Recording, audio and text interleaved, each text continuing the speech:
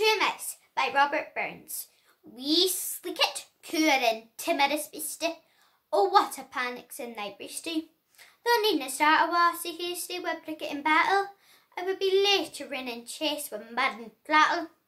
I'm truly sorry man's dominion has broken nature's social union and justifies that ill opinion which makes thee startle at me type here earthborn companion a fell mortal. I don't know why else, but thou may thieve.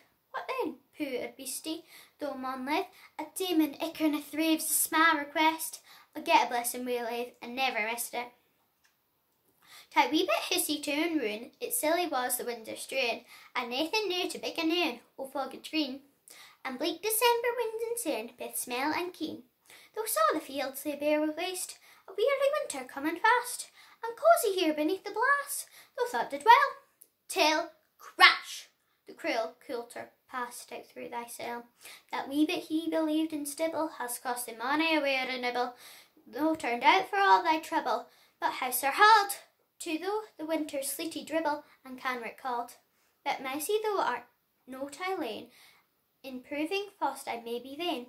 The best laid schemes o' mice and men gang after glide, and leave us naught but grief and pain for promised joy. Still thou art blessed, can bear with me.